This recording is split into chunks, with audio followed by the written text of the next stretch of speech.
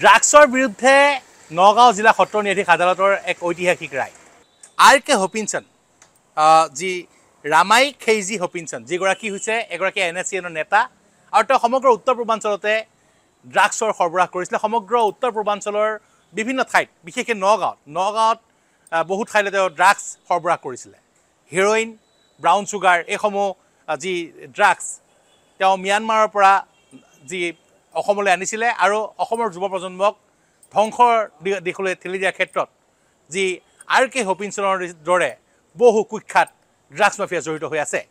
সেই আৰ কে হপিনছনে লগ পাইছিলে নগাঁৱৰ বৰদোৱাৰ হামিল নামৰ এগৰাকী ড্ৰাগছ ব্যৱসায়ীক যিগৰাকী হামিল চৈধ্য বছৰ বয়সতে মিস্ত্ৰীৰ কাম কৰিবলৈ গৈছিলে ডিমাপুৰত। আৰু তাতেই আৰ কে হপিনছনক লগ পাইছিলে আৰু হামিলৰ জৰিয়তে আৰ কে হপিনছনে নগাঁৱলৈ ড্ৰাগছ পঠিয়াইছিলে। কিন্তু হামিলক গ্ৰেপ্তাৰৰ পিছতে আৰ কে হপিনছন যিগৰাকী এন এছ চি এনৰ নেতা যিগৰাকী অৰুণাচলৰ এগৰাকী বিধায়কৰ হত্যাৰ গোচৰটো অভিযুক্ত হৈ আছে সেই আৰ কে হপিনছনক বিচাৰি নগাঁও আৰক্ষীয়ে বহু ঠাইত অভিযান চলাইছিলে। কিন্তু আৰ কে হপিনছন ৰাজনৈতিকভাৱে শক্তিশালী হোৱাৰ বাবেই নাগালেণ্ডত গৈ আৰ কে হপিনছনক গ্ৰেপ্তাৰ কৰাটো সম্ভৱ হোৱা নাছিলে। অৱশেষত দুহেজাৰ একৈছ চনত আৰ কে হপিনছনক নগাঁৱৰ তেতিয়াৰ অতিৰিক্ত আৰক্ষী অধীক্ষক সদৰ ধ্ৰুৱ বৰাৰ নেতৃত্বত চলোৱা অভিযানত পঁচিছ অক্টোবৰত দুহেজাৰ একৈছ চনৰ পঁচিছ অক্টোবৰত নগাঁও আৰক্ষী গ্ৰেপ্তাৰ কৰিবলৈ সক্ষম হৈছিলে। নগাঁও আৰক্ষীক পৰা তেওঁ পলায়ন কৰাৰ চেষ্টা কৰিছিলে। চেষ্টা কৰাৰ সময়ত নগাঁও আৰক্ষীয়ে গুলিয়াবলৈ বাধ্য হৈছিলে। সেই সময়ত নগাঁও আৰক্ষী অধীক্ষক আছিলে আনন্দ মিশ্ৰা। তাৰপিছতেই আৰ কে হপিনছনৰ বিৰুদ্ধে নগাঁও আৰক্ষীয়ে তদন্ত আৰম্ভ কৰিছিলে আৰু সেই তদন্তকাৰী বিষয়া হিচাপে নিযুক্তি দিয়া হৈছিলে কলিয়াবৰৰ তেতিয়া মহকুমা আৰক্ষী বিষয়া মৃন্ময় দাসক। মৃন্ময় দাসে যি N D P S under section two twenty one সেই ধাৰাৰ অধীনত two six nine five oblique two thousand twenty one number এটা গোচৰ নগাঁও সদৰ আৰক্ষী থানাত ৰুজু কৰিছিলে।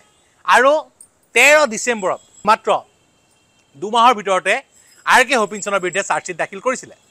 আৰু অৱশেষত আৰ কে হপিনছনৰ বিৰুদ্ধে তেতিয়াৰ যিটো গোচৰ চলিছিলে সেই গোচৰটোত নগাঁৱৰ যি বিশেষ আদালতে আৰ কে হপিনছনক বিছ বছৰৰ সশ্ৰম কাৰাদণ্ড দিছে। আৰ কে হপিনছনক বিছ বছৰৰ সশ্ৰম কাৰাদণ্ড দিয়াৰ উপৰিও তেওঁক দুই লাখ টকা জৰিমনাও বিহা হৈছে। ড্ৰাগছত সাধাৰণতে দেখিবলৈ পোৱা যায় যে যিসমূহ ড্ৰাগছ ব্যৱসায়ীক গ্ৰেপ্তাৰ কৰা হয় ড্ৰাগছ মাফিয়াক গ্ৰেপ্তাৰ কৰা হয় তেওঁলোকে অতি সহজেই আইনৰ পৰা ৰেহাই পায়। সেয়েহে জেলৰ পৰা মুক্তি লাভ কৰি পুনৰ কিন্তু ড্ৰাগছৰ ব্যৱসায়ত জড়িত হৈ পৰে।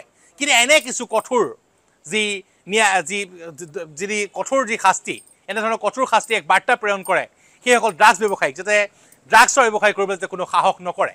আৰু এই ক্ষেত্ৰত দুয়োগৰাকী আৰক্ষী বিষয়া ন বৰ্তমান যি গুৱাহাটীৰ যি ছিকিউৰিটিৰ D C P Dhruba Bora তেওঁ তেতিয়াৰ নগাঁৱৰ অতিৰিক্ত আৰক্ষী অধীক্ষক সদৰ আছিলে। আৰু লগতে বৰ্তমান গোলাঘাটৰ যিগৰাকী অপৰাধ শাখাৰ অতিৰিক্ত আৰক্ষী অধীক্ষক মৃন্ময় দাস তেওঁ কলিয়াবৰৰ আহ, যি মহকুমা আৰক্ষী বিষয়া হিচাপে নিযুক্তি সেই সময়ত দায়িত্ব পালন কৰিছিলে।